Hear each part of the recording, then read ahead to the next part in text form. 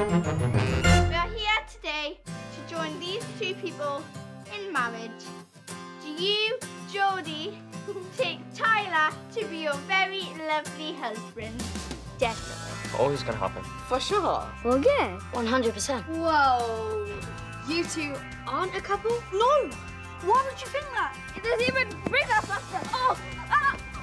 I reckon we can fix this with a pasta and a bowl of ice cream. There's this very special plant that May-Li loves. In the garden, a couple of streets away. I don't understand.